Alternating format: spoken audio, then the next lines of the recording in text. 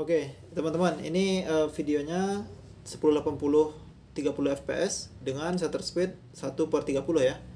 Teman-teman lihat di sini di bagian uh, backgroundnya itu ada sedikit uh, apa patah-patah gitu ya. Apalagi nanti teman-teman kalau misalkan uh, ngeditnya di slow motion itu bakal parah gitu hasilnya. Kalau misalkan videonya itu 30 fps, jangan teman-teman gunakan shutter speednya seperti 30 juga gitu ya biasanya videographer profesional itu menggunakan shutter speed dua kali dari FPS-nya ya teman-teman.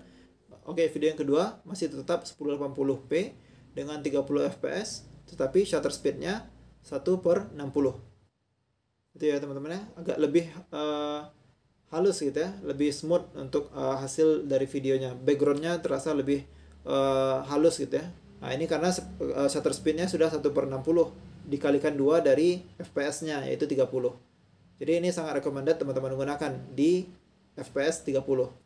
Oke teman-teman kita lanjut ke video yang berikutnya yaitu video dengan kualitas 720p dengan 60 fps dan shutter speed 1 per 60. Nah ini ya teman-teman ya.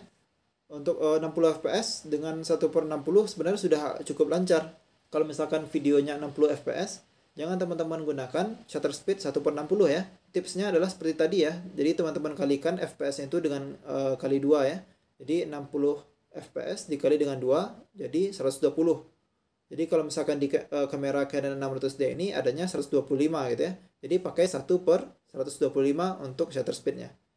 Oke teman-teman ini kita pakai shutter speed 1 per 125 dengan uh, kualitas video yang sama 720p 60 fps ya. Coba kita lihat hasilnya Nah itu ya teman-teman ya backgroundnya uh, terasa mulus dan lancar di uh, lebih enak untuk ngelihatnya gitu ya.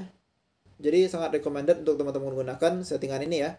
Jadi kalau misalkan uh, 60 fps teman-teman kalikan dua gitu ya. Kalau misalkan tidak ada yang mendekatinya itu ya. Jadi 1 per 125.